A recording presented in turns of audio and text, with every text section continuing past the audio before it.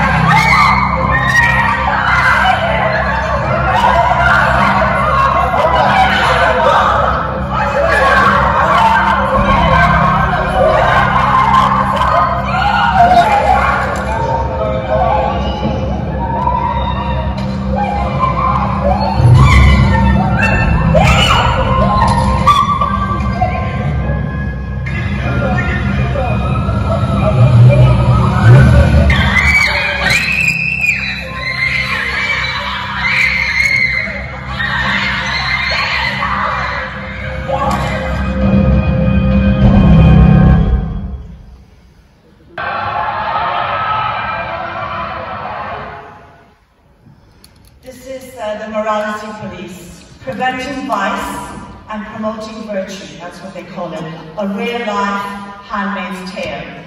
Now this was Mahsa Amini before they took her.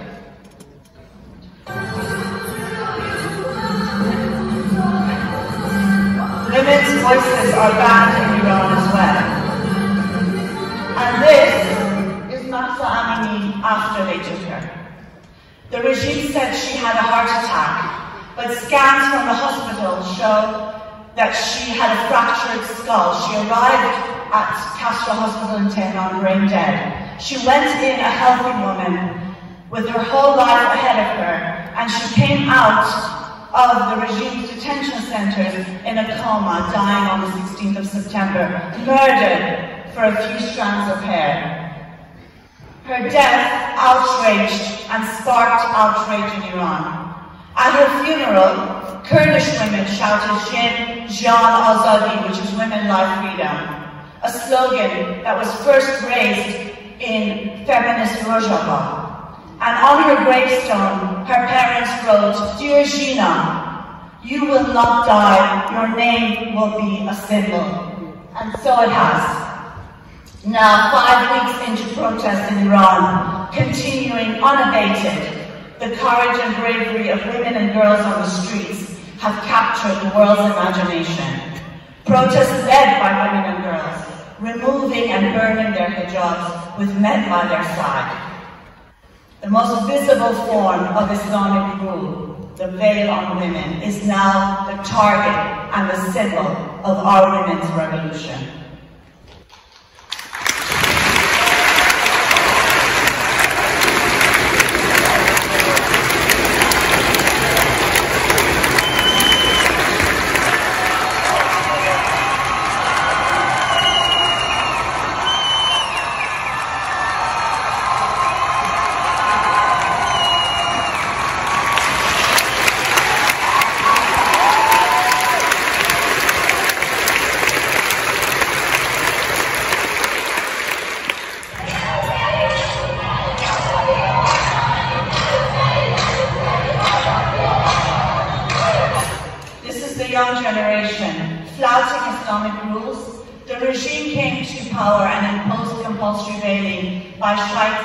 Shouting either veil or a punch, and they threw acid in women's faces and pinned women's hijabs on their heads.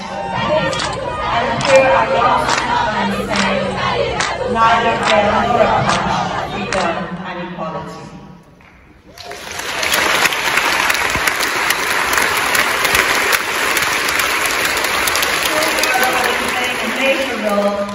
kicking out officials of the Islamic regime, tearing up photos of Khamenei and Khomeini from their classrooms, and writing women life freedom instead. As usual, it's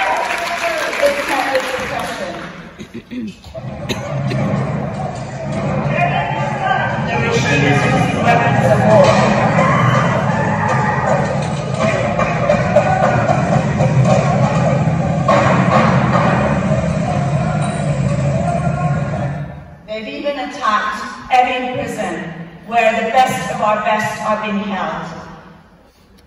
Setting off explosions, there's video footage of security officials actually putting more petrol on the flames. And there are reports that between 40 to 100 prisoners, including political prisoners, have been killed. Many have been disappeared, over 12,500 people have so far been arrested, that's according to human rights groups, including the two women journalists who first brought the news of Mahsa's murder to the public. Officials say that the average age of those arrested is 15 years old. So far, human rights groups know of around 250 protesters killed. Many of them are children, the numbers are obviously higher. One of them is Nika Shah 16. This is the last footage of her. She posted it on Instagram of her burning her hijab. She contacted her family saying that she was at the protest and then she was disappeared. Ten days later, the authorities called her family to tell them to come and pick up her body. The regime said she had killed herself, but her mother said in an interview that her skull was smashed, her teeth were broken, and her cheekbone was dislocated. When the family were getting ready to bury her, they stole her body and buried her somewhere else without the presence of our family to prevent further protests around her death. Sarina Esmailzadeh is another young woman.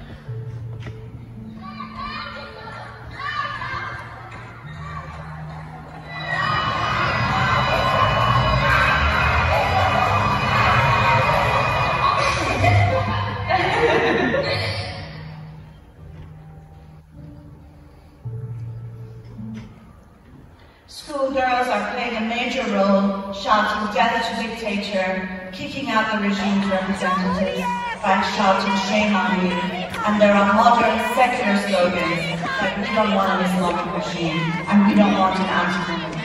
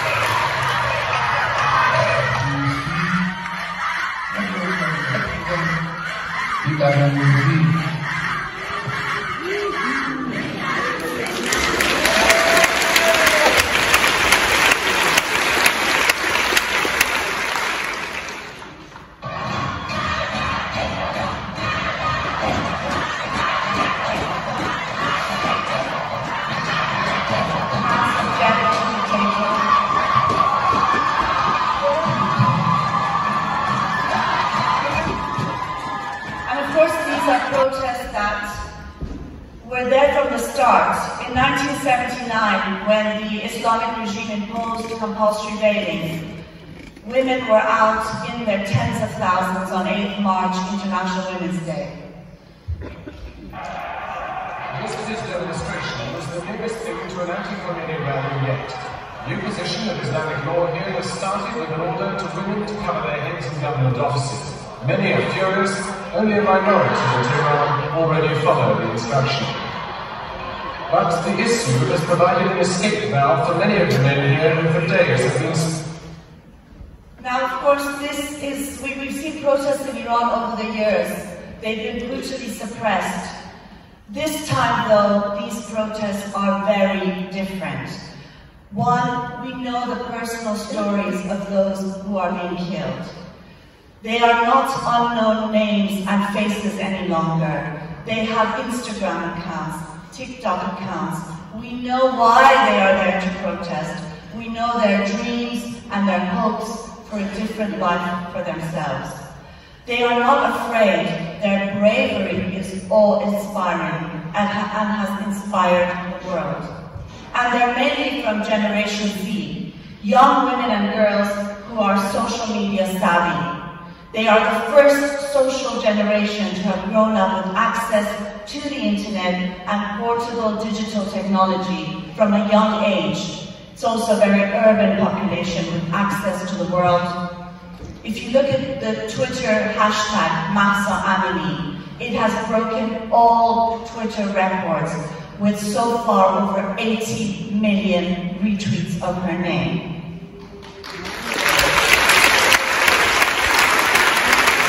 The difference now too is that this is a generation that has no illusions to Islamic reform or sections or factions of the Islamic regime. They want an end to Islamic rule, full stop. It is anti-religion. One of the main slogans is mullahs get lost. Mullahs get lost. We are fed up with your religion. It wants overthrow. It says there's only one solution, and that is revolution.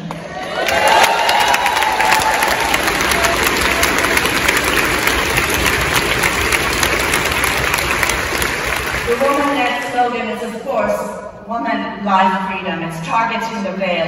The Islamic regime of Iran imposed itself and stabilized its rule by attacking women and imposing the veil by force. Today, our women's revolution is bringing this regime to its knees by also targeting the veil, by removing it, by burning it.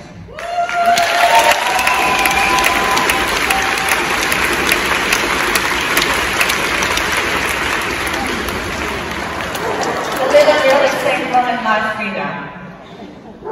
As we know, in any struggle, in any revolution, victory is not guaranteed.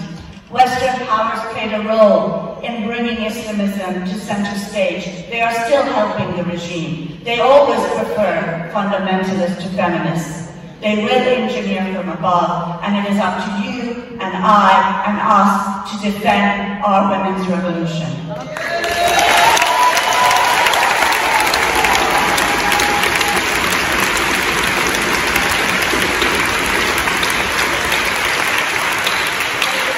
There is so much that you can do. Share news of the protest. Don't let the information about the struggle that's taking place be hidden from view. You can cut your hair, as I've done many times, and will do so.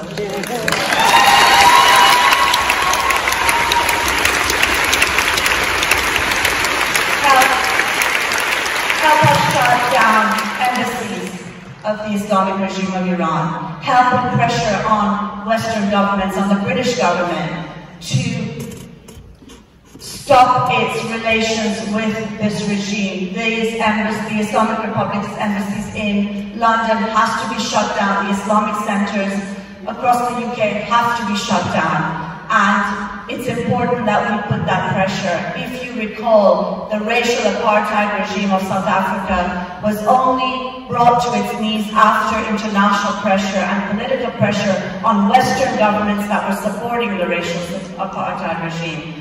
Today, it is up to us to put so much pressure that the British government can no longer legitimize its relations with the sex apartheid regime of Iran.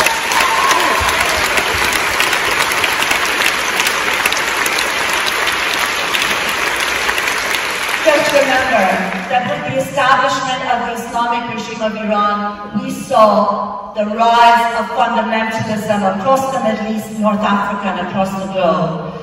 Over 40 years now since the establishment of that regime, we have seen the rise of the Hindu right, the rise of the Jewish right, the rise of the Christian right, and its effects on women in particular. They target women first, they come for women first.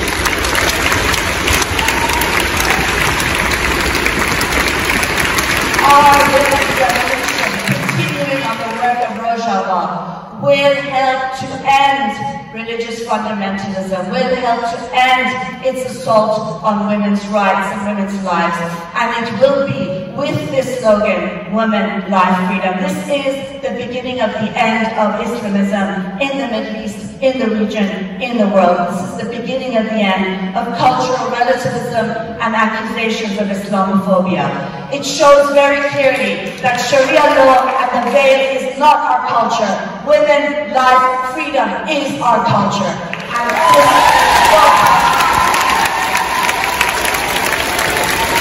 is a woman's revolution. It is your revolution. Defend it, defend it, defend it.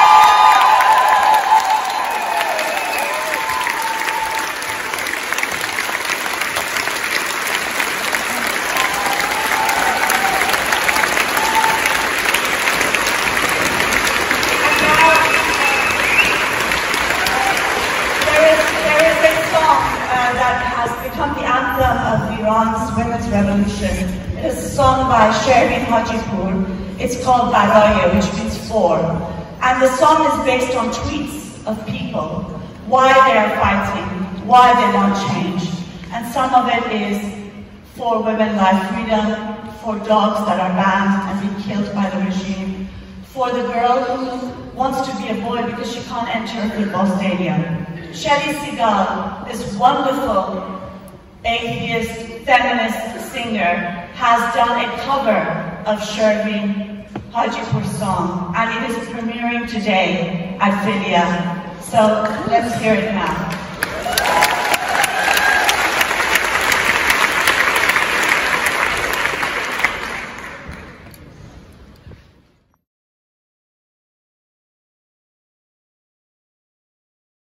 the Islamic regime of Iran is going to end via a woman's revolution. And I think we're seeing that today. For dancing, dancing in the streets, for the fear of kissing, the fear of kissing, for my sister, your sisters, our sisters, for the change of right and mind.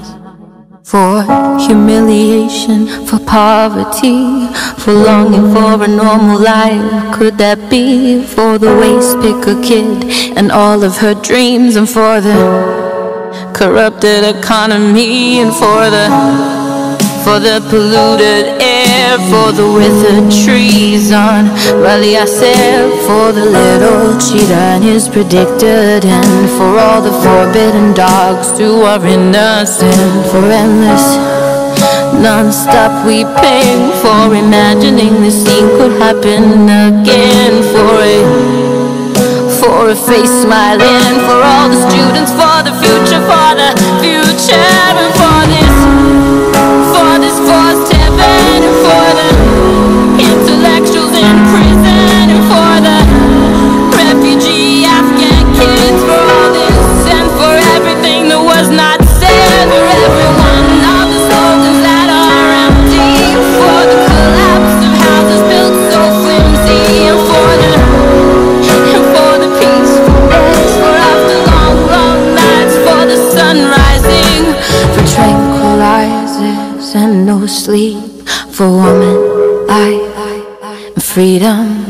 girl who wished that she could be a boy for woman life